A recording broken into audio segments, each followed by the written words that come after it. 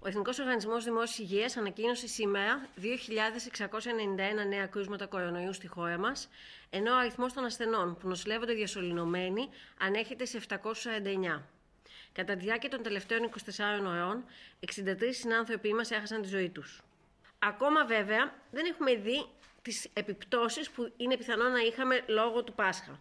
Αναμένουμε τοπικές επιδημίες και ήδη έχουμε κάποιες τέτοιες ενδείξεις, καθώς τόσο οι μετακινήσεις κάποιων από τις μεγάλες πόλεις σε περιοχές με μικρό επιδημιολογικό φορτίο, όσο και οι οικογενειακές και φιλικές συναθρήσεις που όλοι απολαύσαμε αυτές τις μέρες, ενδέχεται να έχουν αυξήσει τη διασπορά του ιού στην κοινότητα.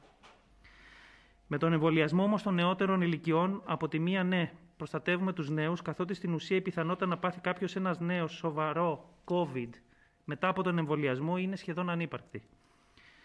Από την άλλη, και ίσως το πιο σημαντικό είναι ότι εξαλείφουμε τη μετάδοση στην κοινότητα. Το κύμα των εμβολιασμών που έχει ξεκινήσει τώρα είναι αυτό που θα αρροκανόησει το μεγαλύτερο μέρος της μεταδοτικότητας, του RT, και θα οδηγήσει στην πλήρη ύφεση.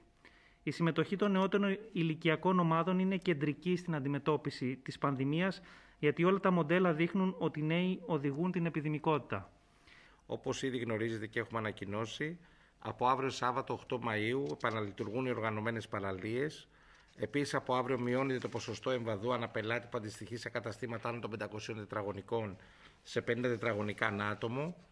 Τη Δευτέρα 10 Μαΐου επαναλειτουργούν τα νηπιαγωγεία, τα δημοτικά και τα γυμνάσια. Υπενθυμίζουμε ότι τα μέλη της εκπαιδευτικής κοινότητας, μαθητές, εκπαιδευτικοί και λοιπό προσωπικό καλούνται να προσέλθουν στο σχολείο έχοντας μαζί τους βεβαίωση αρνητικού τεστ. Τα self-tests διατίθενται δωρεάν και διενεργούνται πριν την έναρξη των μαθημάτων της Δευτέρας και της Πέμπτης, δρώντας έτσι συμπληρωματικά στο εφιστάμενο υγειονομικό πρωτόκολλο, το οποίο μεταξύ άλλων περιλαμβάνει υποχρεωτική χρήση μάσκας και διαφορετικά διαλύματα για ομάδες μαθητών. Επίσης, από τη Δευτέρα 10 Μαΐου επαναλειτουργούν τα διαζώσεις, τμήματα φροντιστερίων και κέντρων ξένων γλωσσών που σχετίζονται με τη διενέργεια εξετάσεων όπως πανελλήνιες και εξετάσεις τίτλων υπάρχειας ξένων γλωσσών.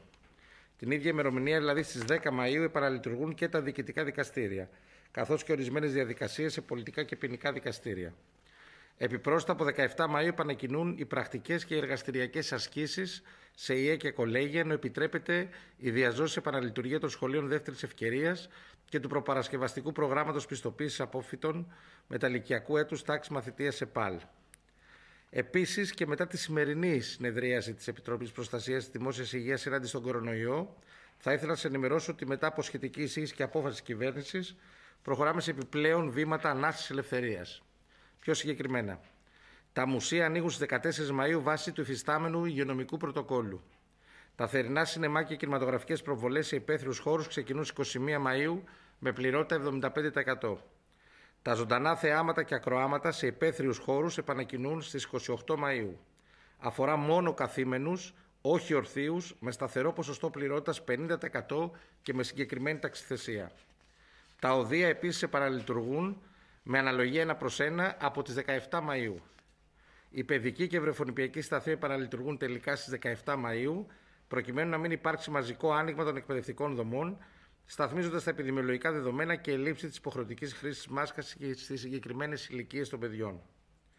Τέλος, πάρθηκαν αποφάσεις για τον αθλητισμό, για την εστίαση καθώς και για την και αρμοδιότητα του Υπουργείου Εσωτερικών που θα ανακοινωθούν από τα αρμόδια Υπουργεία.